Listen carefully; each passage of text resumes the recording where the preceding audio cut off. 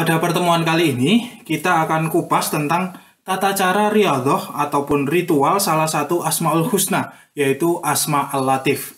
Adapun fungsi dari riyadhah atau ritual asma ini adalah untuk wasilah ataupun untuk perantara berbagai hajat dan keperluan.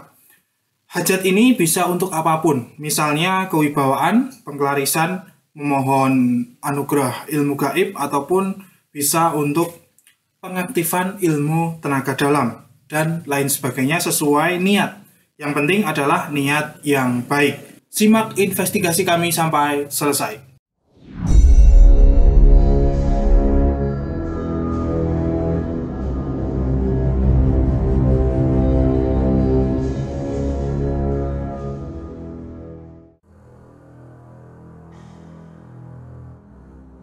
Bismillahirrahmanirrahim Assalamualaikum warahmatullahi wabarakatuh Alhamdulillahirabbil alamin Assalatu wassalamu ala asrafil anbiya wal mursalin Wa ala alihi wa sahbihi ajma'in Amma ba'du Allahumma salli ala sayyidina Muhammadin nuridati wa sari Bisairil asma'i wa sifati wa ala alihi wa sahbihi wa sallim Rabbi srahli sadri wa yasir li amri Wahlul udatam lisani yafqahu qawli Raditu billahi rabba wa bil islami dina Wa bi Muhammadin nabiyya wa rasulah Rabbi zidni ilma warzuqni fahma amin Selamat datang, selamat berjumpa kembali dalam channel Spiritual 21 Investigasi Supranatural Tanpa Batas. Allah itu mempunyai 99 asma yang mana asma ini disebut dengan Asmaul Husna. Asmaul Husna itu ditinjau dari energi gaib itu mengandung energi yang cukup besar ya. Para hukama banyak menjelaskan tentang khasiat Asmaul Husna ini ya. Dan yang akan kita bahas kali ini yaitu Asma Alatif yang mana Asma Alatif ini juga sangat uh, banyak sekali fadilah-fadilahnya dan sangat spektakuler sekali khasiatnya pemirsa.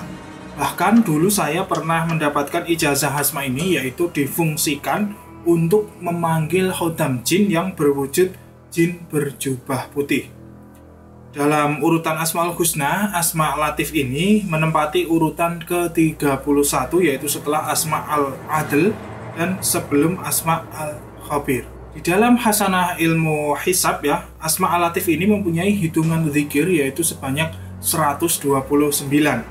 Hal ini menurut para ahli hikmah bahwa Asma Alatif ini mempunyai khotam yang paling sedikit itu memimpin 129 khotam di bawahnya. Kami juga pernah e, menemukan sebuah perguruan ilmu hikmah yang mana dipimpin oleh seorang gus atau seorang ulama yang mana perguruan ini juga menggunakan energi gaib dari Asma Alatif ini untuk memasukkan energi kodam ke dalam tubuh. Para ahli hikmah zaman dulu itu juga menggunakan asma ini untuk aji panglimunan ataupun ilmu menghilang ya. Sangat banyak sekali khasiat-khasiat yang terkandung di dalam asma alatif ini.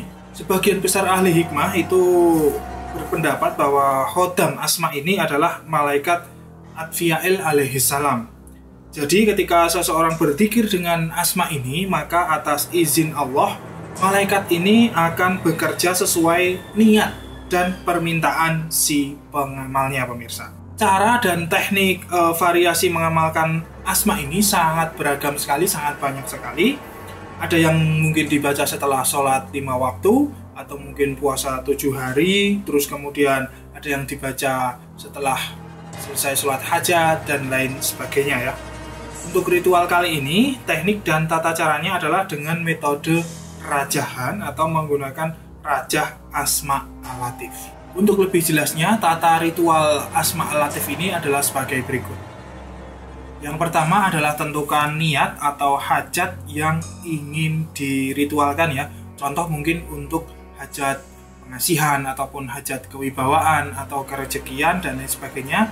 Jadi hajatnya itu hanya satu saja boleh dua ya satu tapi diniatkan dengan baik nanti kalau punya hajat lagi niatkan lagi ritual lagi jadi satu ritual itu satu hajat atau satu niat.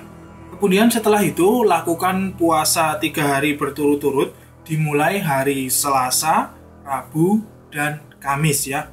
Niat puasanya adalah niat puasa karena Allah atau puasa sunat biasa sunat mutlak.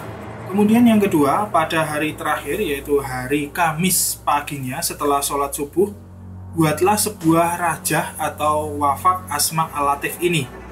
Untuk jimat ataupun rajahnya adalah seperti ini ya. jadi berbentuk kolom seperti ini. Adapun penulisannya itu harus urut ya e, di dalam kolom tadi harus urut meskipun letaknya berbeda-beda. Urutannya itu dimulai dari lam, to, ya, kemudian yang terakhir adalah fa. Untuk lebih jelasnya silahkan lihat cara penulisannya adalah sebagai berikut.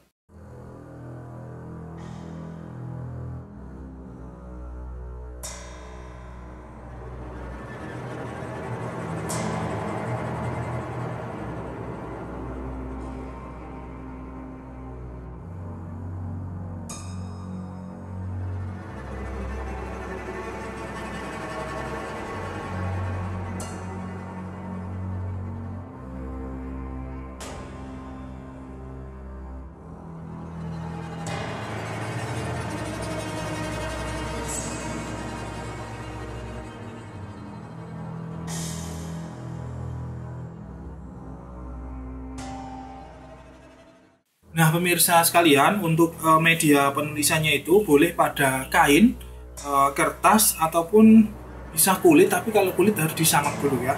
Setelah selesai ditulis, berikanlah raja tadi minyak wangi non-alkohol ya, seperti misik, za'faran, atau minyak yang lainnya bisa dibeli di toko-toko minyak. Setelah itu semua selesai, dirajah, terus kemudian dikasih minyak, selesai semuanya, kemudian disimpan dulu ya, seperti itu. Kemudian yang ketiga, Siapkan juga bahan-bahan sebagai berikut ya. Yang pertama adalah minyak za'faron, yang kedua minyak misik, dan yang ketiga minyak mawar, kemudian yang keempat adalah air hujan. Nah, untuk ketiga minyak tadi bisa dibeli di toko-toko minyak terdekat atau bisa melalui online shop. Untuk air hujan nanti silahkan menadah langsung ya, menadah langsung dari langit. Kemudian yang keempat, campurkan ketiga minyak tersebut ya sik, za'faron, mawar dicampur jadi satu, tapi tidak dicampur semuanya. Hanya ambil sedikit saja, secukupnya saja. Kira-kira mungkin ya seperempat botol kecil saja, sedikit saja. Kemudian setelah itu tambahkan satu atau dua tetes air hujan pemirsa di dalam campuran minyak tersebut. Kemudian yang kelima pada hari terakhir yaitu pada hari Kamis malam Jumatnya itu persiapkan jimat dan bahan minyak yang sudah dibuat tadi. Nah, tepat pada tengah malam, lakukan ritual sholat hajat dua rakaat. Tata cara sholat hajatnya nanti silahkan lihat link deskripsi di bawah. Tapi sebelum sholat, itu gunakan minyak campuran tadi untuk menulis rajah di telapak tangan dengan menggunakan jari telunjuk. Rajah yang ditulis adalah seperti tadi, wafak latif tadi.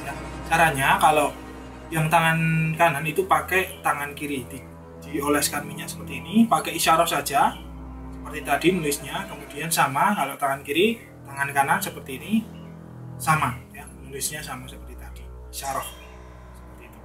Kemudian yang keenam, setelah selesai tadi merajah di kedua tangan, kemudian melakukan sholat hajat, lalu kemudian taruh jimat asma alatif itu di depan Anda ya, tepat anda, kemudian Anda duduk bersila, lalu kemudian berzikirlah membaca Ya Latif sebanyak 903 kali.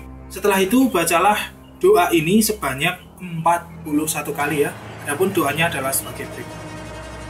Allahumma bihaqqi hadhil asrari alaika an tabdiya hajati.